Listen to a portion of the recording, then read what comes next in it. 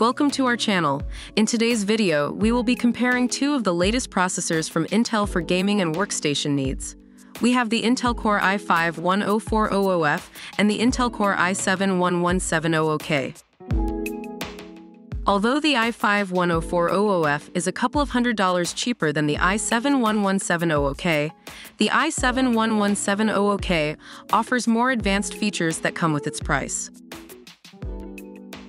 Both processors have multiple cores and threads, but the i7-11700K has more than the i5-10400F. Thus, the i7-11700K is more powerful when it comes to multitasking and running heavy-duty applications.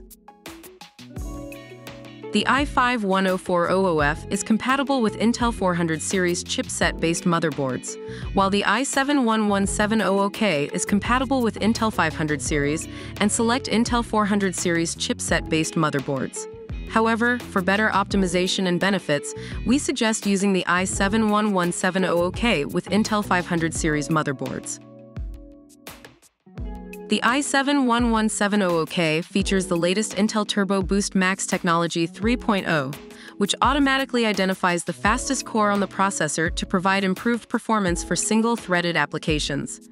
The i5-10400F does not support Turbo Boost Max technology. Both processors support Intel Optane memory. However, the i7-11700K's support for Optane memory is more advanced and faster, making it more suitable for users who need to work with large amounts of data. The i5-10400F comes with a stock cooler, so users do not need to buy an additional one, while the i7-11700K does not come with a cooler, requiring users to purchase one separately.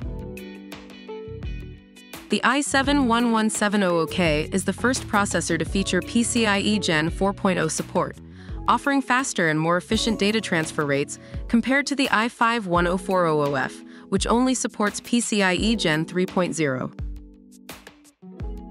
And that concludes our comparison video of the i5-10400F and i7-11700K.